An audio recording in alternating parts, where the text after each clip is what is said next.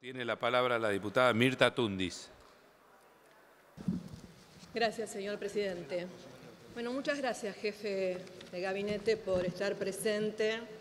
Y no debe ser fácil su tarea de tener que estar este, escuchándonos, representando al gobierno y tener que dar, obviamente, las respuestas que a veces eh, no llegan.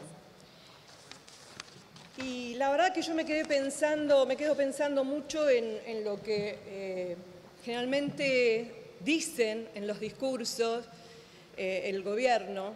Eh, no hay que mentirle a la gente, no crean las mentiras, hay que decir siempre la verdad. ¿Y sabe qué?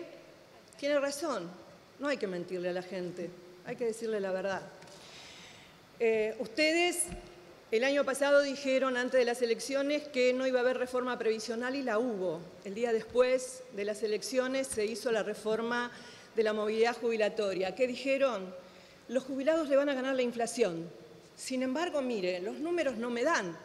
De septiembre del 2017 a marzo del 2018, la inflación por el IPC fue de un 15,34%. A los jubilados le debían haber correspondido en marzo por la movilidad anterior el 14%.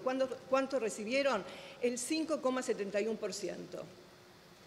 El acumulado abril, porque no tenemos mayo, es del 18,54%. ¿Cuánto se le va a dar? Usted mismo me lo respondió en las respuestas que en junio se va a dar el 5,69%. Mire, el acumulado a abril es del 18,54%. ¿Cuánto es el acumulado de, movilidad? El 11,72%. No le ganaron a la inflación, vienen perdiendo. Yo sé que usted me respondió que el 6,9% van a recibir en el mes de septiembre, pero ¿cuánto va a ser la inflación acumulada a esa fecha?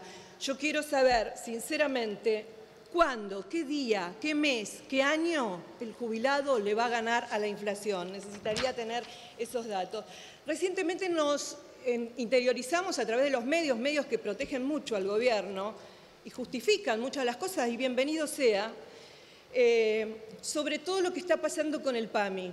Ustedes saben, personalmente todos deben saber lo que significa el PAMI para el jubilado. Es como que a usted de la noche a la mañana le quieran sacar su casa el, jubilado siente que el PAMI es su casa. Hablaron de ajuste de personal. Primero que el PAMI no es una obra social, es un Instituto Nacional de Servicios Sociales para jubilados y pensionados, cosa que ninguna obra social sindical le da a los jubilados, le dan prestaciones médicas. Acá se dan muchas más prestaciones y bienvenido sea, porque los jubilados son bastante pobres.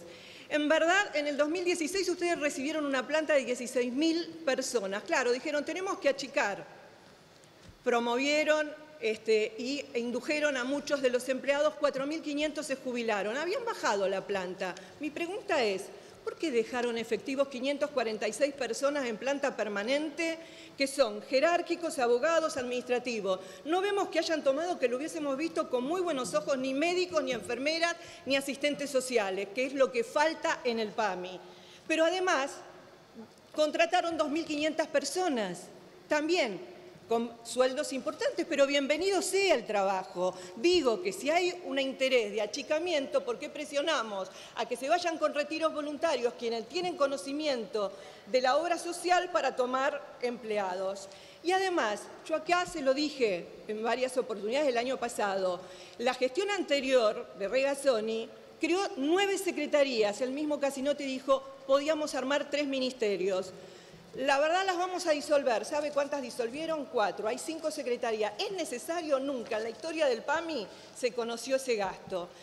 Por el otro lado, decimos que los jubilados vayan a las obras sociales sindicales, los nuevos jubilados, dicen, para que no reciban nada. Hicieron un pacto con un convenio con los laboratorios, con el tema de medicamentos, que bien dijo usted, eh, hicieron un ahorro importante, pero ¿qué dijeron? Van a poder tener aumentos trimestrales, nunca van a poder superar el 70% de la inflación, pero es únicamente para los afiliados al PAMI. O sea, que el gobierno quiere presionar a los nuevos jubilados que se vayan a otra obra social para perder derechos, porque no los van a cubrir y no les van a cubrir ninguna prestación social, ninguna obra social sindical le va a dar silla de ruedas, les va a dar camas ortopédicas, les van a dar este, bolsones de alimentos perdón, alimentos. ¿Sabe cuánto gastaron en el 2016 en promoción y publicidad?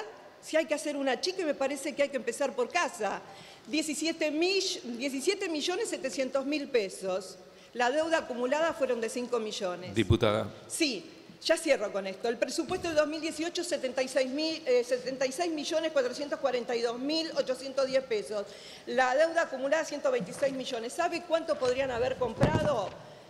30.400 audífonos. Podían haber comprado 343.891 bolsones y podían haber comprado unos 26.441 estén y tener este, un banco de prótesis como alguna vez lo tuvo el PAMI. Y como todo periodista, para, termino ya, señor presidente, como todo, periodista este, se remite al archivo, quiero recordar en el 2014, Macri, en campaña, si soy presidente, elimino impuesto a las ganancias a los trabajadores. Las promociones, los trabajadores no pagarán ganancias en mi gobierno. El 8 de se- de febrero de 2015, Macri, eliminar la inflación será la cosa más simple que tenga que hacer si soy presidente. No la eliminó. Acá tiene las pruebas. En el 26 de junio del 2015, Macri prometió que los subsidios van a seguir, subsidios, IPF, aerolíneas.